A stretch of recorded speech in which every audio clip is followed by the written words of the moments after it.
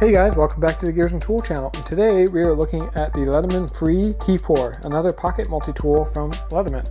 And this is a nice looking multi-tool and um, it's really kind of targeting, in my opinion, the Victorinox series of uh, pocket multi-tools that we all grew up with and uh, love using. So let's go ahead and dive into the uh, features of this particular multi-tool and what some of the pros and cons of Leatherman's offering are. So first up is size and weight. We have a 3.65 inch long tool that's one inch wide at the widest point and three quarters of an inch wide at its widest point, which is right here where the lock bar sticks out.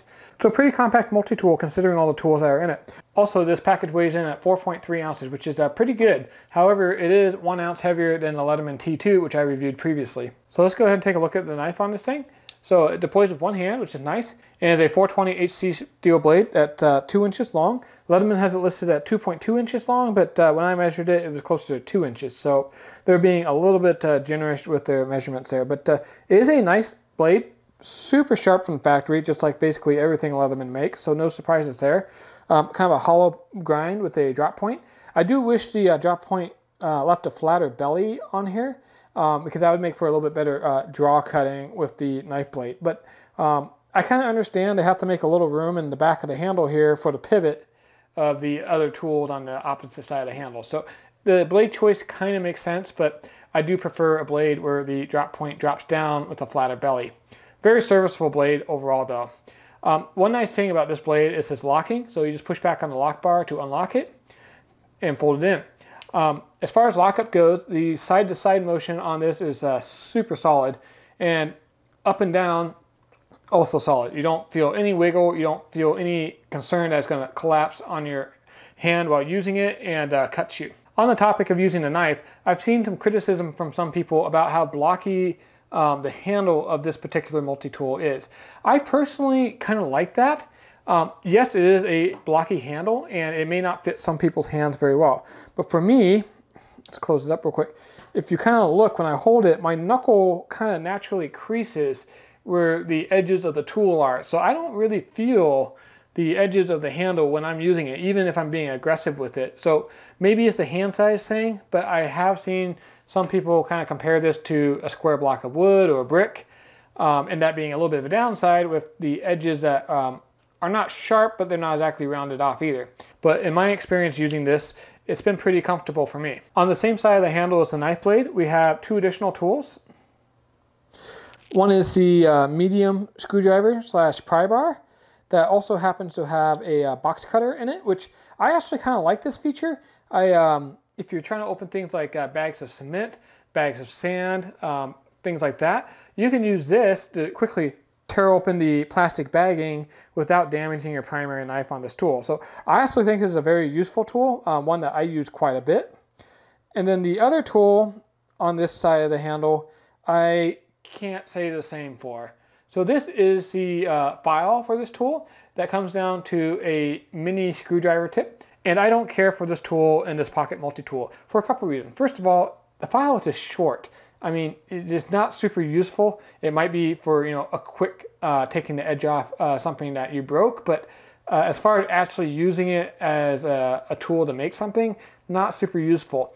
Also, there's no diamond coating on either side of this file, just like the Leatherman P4's file. Um, that's a big bummer for me because some of Leatherman's other multi-tools like the Leatherman Wave here do have a diamond coated file which uh, I find myself using quite a bit and it works really well for touching up knife blades and stuff like that. Um, also I have the Leatherman Wave here just for size comparison you can see how much smaller that file is compared to the Leatherman Wave. So pretty small file. I, uh, I probably would have preferred that they put a serrated edge knife blade on this side of the handle to complement the plain edge knife blade in here, but they chose to go with the file. Um, another thing I don't really like about having a file on this particular tool is there's magnets in here. So one of the ways this tool operates one-handed is uh, there's magnets that kind of keep these tools captured so they don't shake loose, but then they're quickly deployable when you push on the back of them. So if there's magnets in here and you're using the file, you're going to have uh, little bits of metal drop into your tool and get possibly stuck, gunking up the mechanisms, or just getting sharp pieces of metal on the outside of the multi-tool, which is less than ideal. So that's it for the knife side of the tool. Let's go ahead and take a look at the other side of the tool. Again, one-handed. We have three tools on this side. We have a number one and number two Phillips driver with a bottle opener or cap lifter, which works great by the way. Also while we're on the topic, the secondary tools also lock up just like the knife blade does, which is great because if you're using something like this Phillips driver, you don't want it to accidentally fold in on your hand, pinching your finger. So I do like that touch that not just the primary knife blade, but the secondary tools lock up as well. And that's something that the Victorinox tools just don't do. Back to the screwdriver side, we have uh, an awl and a pair of scissors. The awl is uh, just fine. It has a micro screwdriver tip on it and uh, a reasonably sharp edge on the awl, not razor sharp, but plenty sharp to be drilling holes through wood or leather. I personally don't really use an awl for that. I use it for scraping paint out of the nooks and crannies of whatever I'm working on. And the last tool on the side are the scissors. And I think this is something that a lot of people uh, might be kind of excited about. I know a lot of you guys really like scissors on their multi-tools. I personally don't use scissors that much for my multi-tools. I figure if I'm gonna you know, be cutting something, I just use a knife. But I know everybody's use case is different, so let's take a look at the scissors. Um, they come out pretty easily. Um, they have a really nice snick to them. They, um, they feel really tight and secure. So let's go ahead and cut some paracord with these scissors. Um, kind of my version of the uh, miniature scissors torture test because some scissors do really well with it and some just fall on their face. So we got some 550 cord. And first cut's pretty good. Let's go ahead and try a loose end cut. As you can see, the uh, paracord is folding over a little bit as the scissors try to snip through. Let's try another location here. So if I hold my fingers really close to the uh, cutting line, it seems to do uh, quite a bit better. Um, but that case, um, but like right here, it's still struggling a little bit.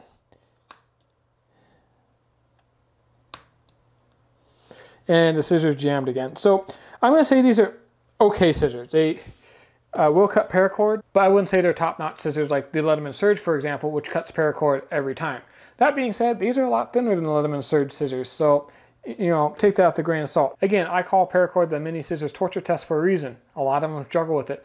Um, these scissors feel nice and tight. Overall, I think they're going to do great with paper, cardstock, uh, cutting tape, things like that. So um, definitely not a worthless pair of scissors, but do be realistic on what the capabilities of them are. I love that this multi-tool has a pocket clip included. Leatherman, please take the hint. Giving us things like this where you are teasing us about a pocket clip is a slap in the face. You pay a bunch of money to not get the full capability of the tool. So I love that the T4 does come with a pocket clip and that's my preferred method of carry. I really like that all the tools are one hand deployable and all the tools are locking not just the knife blade. And all the locking tools lock up nicely side to side and up and down. I really do like the locking mechanism on all Leatherman Free Series tools. So uh, great job there. And the form factor is a big win. I think it's uh, kind of that sweet spot where it's not a huge pair of pliers, but you have a nice solid knife when you need it and a couple other tools for when you need it, just like the tried and true Victorinox Pocket Multi-Tools. Now for a couple of the cons of this tool. This tool is a little pricey, coming in at $60.